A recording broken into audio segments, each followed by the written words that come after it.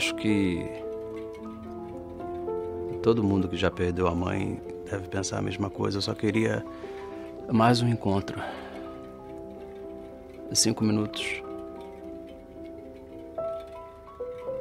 O tempo de.